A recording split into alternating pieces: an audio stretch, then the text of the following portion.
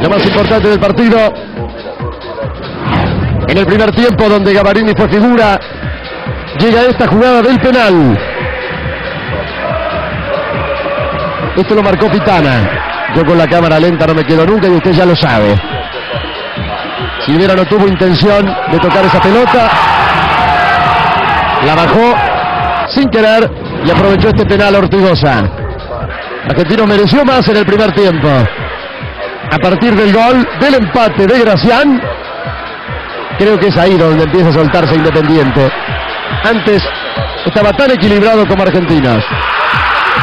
Define Gracián y obligaba a Argentinos a hacer dos goles más. Argentinos que no pudo hacerlo. Primero le erra Patricio Rodríguez y perfectamente habilitado Gracián define y pone el empate. Uno a uno.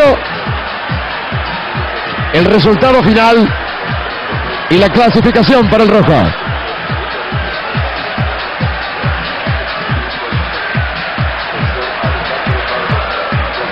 Bien, señores, nos vamos. Miguelito, buen trabajo como siempre, nos vamos.